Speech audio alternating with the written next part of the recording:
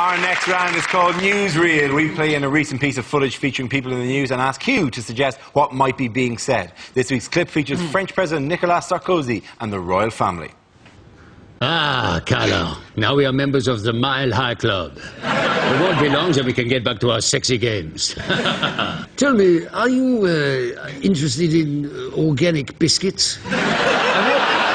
Well, Charlie boy, what are you on? Uh, you know, I see you have noticed my wife. She's a cracker, isn't she? She used to be a supermodel, used to go out with Mick Jagger.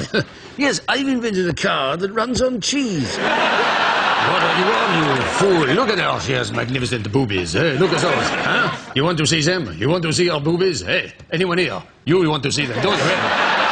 You want to see them? Well, so happens there's a book, you can see them. ah, Your Majesty, I'm so sorry we are late. Carl and I were stacking over Gatwick. I had to go around three times before I made my final approach. Oh, hello, you froggy bastard. Where's the, where's the wife? Oh, my God. Oh, look at her. Oh, she puts a lead in my pencil. Yes. Oh, you're lovely. Oh, yes. Oh, quick, Carla. What's your number? We haven't got much time.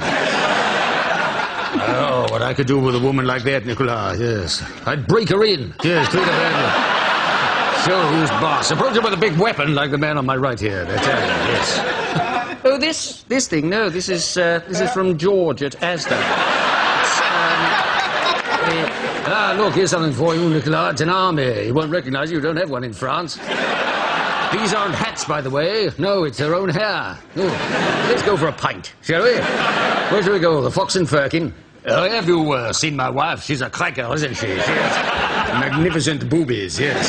She fancies me, even though I have to stand on a box. Yes, I, uh, I noticed that. Incidentally, have you seen a program called Wife Swap? Yes.